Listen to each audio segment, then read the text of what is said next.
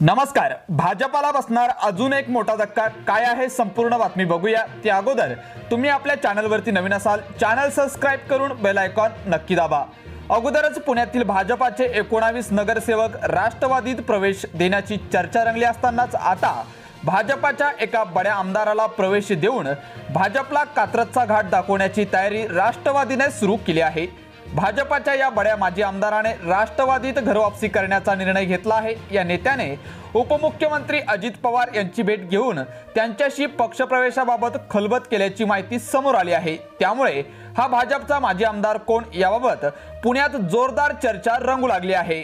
भाजपाच्या या माजी आमदाराने ऐन विधानसभा निवडणुकीच्या वेळी राष्ट्रवादीला सोडचिठ्ठी देऊन भाजपामध्ये प्रवेश केला होता. मात्र भाजपमध्ये जाऊन फारसा फायदा झाला नसल्याचं जाणवल्याने त्यांनी पुन्हा एकदा राष्ट्रवादीत प्रवेश करण्याचा निर्णय घेतला आहे. त्यासाठी त्यांनी मुंबईत अजित पवार यांची भेट घेऊन राष्ट्रवादीत प्रवेश करण्याची इच्छा बोलून दाखवली आहे.